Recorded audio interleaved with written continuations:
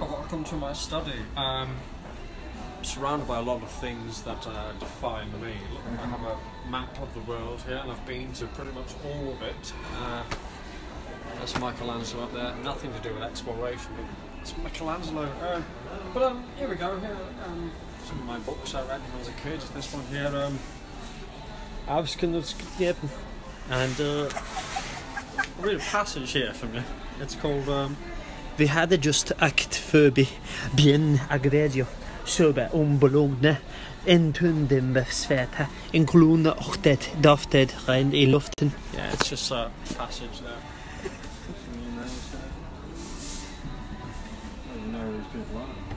Just um, it's a fake keyboard, but um, I have one ordered it on eBay. When I'm finished, I like to have some uh, mulled fruit drink, but. I just it there for look. This is my family. These are my brothers, um, Sven, Sven two, Sven three. We don't know who he is. He's clearly not from Sweden.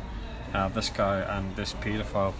Um, that's pretty much my fam. That's a lampshade, and uh, this is a child. Um, I've always got a selection of wines on um, standby.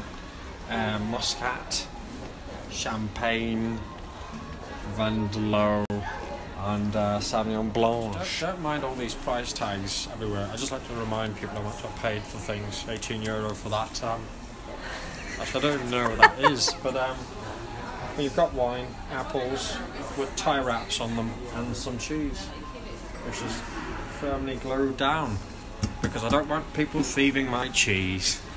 Yeah, there we go. 275, can't even remember what, what it is. Me in my garden, just uh, having a look at the the greens and my lamps. Of course, this is just a mock crop. I can't actually afford a garden outside, so I just printed one off on um, A5 paper, I just stuck them together.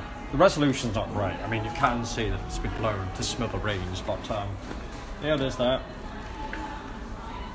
I pretend he's a neighbour and um, very greedy, very greedy. This guy's in the nip sometimes. Bloody nudists.